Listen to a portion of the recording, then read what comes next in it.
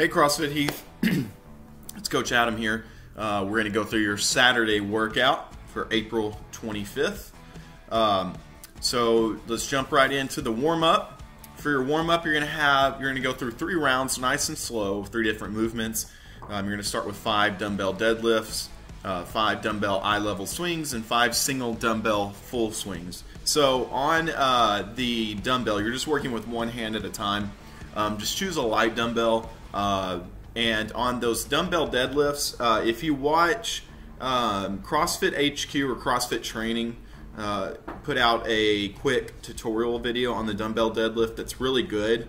Um, and if you'll just Google CrossFit Training or go to their uh, their Instagram page uh, or YouTube CrossFit Training, uh, then you can see it. But essentially, what you're thinking about with a dumbbell deadlift is that suitcase deadlift um, you want the dumbbell to uh, travel right down your leg, and you're to kind of aim for your toe. Um, so you want it a little bit in front of your ankle at the bottom. Um, you don't want to kind of um, you don't want that dumbbell to go right down beside your ankle so that you're having to flex your spine that way. You want to be able to push your hips back, um, bend slightly at the knee, and do a regular deadlift movement. Okay, so if you think about a barbell, the barbell is going to finish a little bit in front of your ankle, so you need to do the same thing with um, a dumbbell. So five reps of that. Um, and then five dumbbell eye level swings. That's just a Russian swing. And if you don't have dumbbells and you want to, you would rather use a kettlebell, works the same way uh, for today. For today's workout, a dumbbell and a kettlebell are interchangeable. Okay, and then five single dumbbell full swings. Again, that's just a full, like a full kettlebell swing. You're just going right overhead.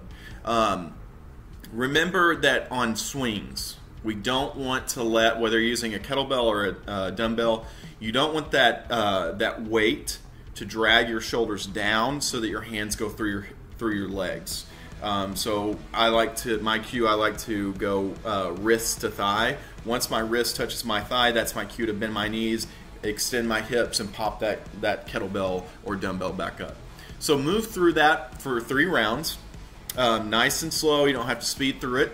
And then when you're done, your workout for today is actually a team of three workouts. So I know we're quarantined right now, so um, I know a lot of you will need to modify this workout. So here's what I would do if you're working out alone, then I would um, change this 20 minute AMRAP into an 18 minute EMOM and just do the three minutes as um, uh, minute a minute worth of work each one and then just move around move through them for six rounds. So but our RX workout is a 20 minute AMRAP.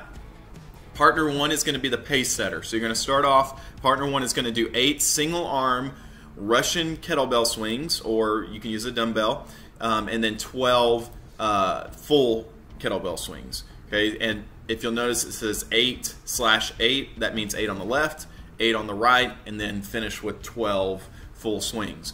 Once partner one is done with that, um, then partner two can go ahead and start, and partner uh, partner one is going to then go to max sit-ups. Okay, when partner one has finished, or I mean, I'm sorry, when partner two has finished their eight um, single arm swings and 12 full swings, partner one has to move on to the calorie bike.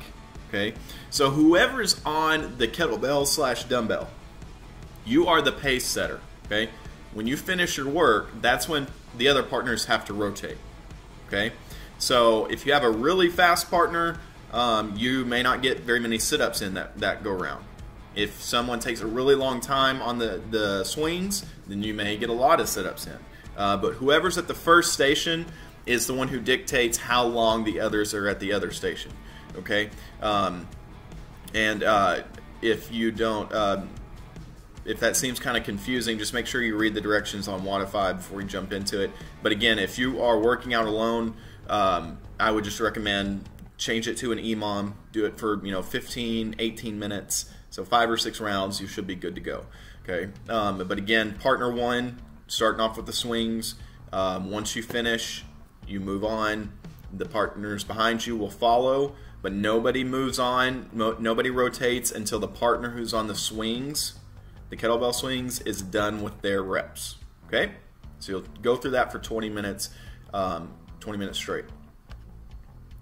And then um, for uh, we've got another additional workout, another option for those of you who don't have the availability to work with partners. It is a 20 minute AMRAP of 16 backpack Russian swings. Um, if you don't want to use a backpack but you have a kettlebell, feel free to substitute that in.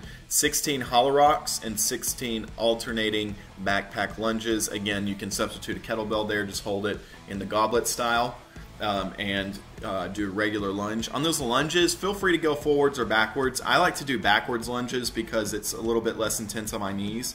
Um, and so you'll just rotate through uh, those reps for 20 minutes.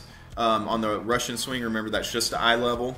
Um, but one thing to think about on uh, whether you're doing a Russian swing or a full swing with a kettlebell or a dumbbell is as you're coming out of the swing, okay, as you're extending your hips, squeeze your glutes, squeeze your butt. You want to activate your posterior chain. We talked about the posterior chain a couple times. You want to activate those glutes, activate those hammies when you are swinging the kettlebell up, okay? Um, and then make sure that we are keeping our spine neutral, um, that you're not rounding those shoulders, rounding that back um, as you swing, okay?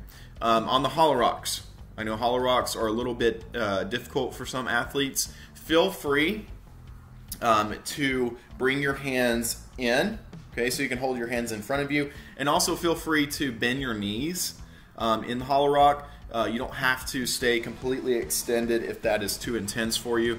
Um, you should be able to do those hollow rocks in about two, two to three sets um, each time, even if you're fatigued, and get through those 16 reps. But one hollow rock is rocking forward and backwards. That's one, two, three, four, etc.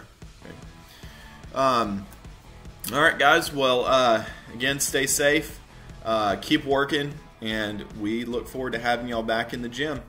I'll see y'all later, guys.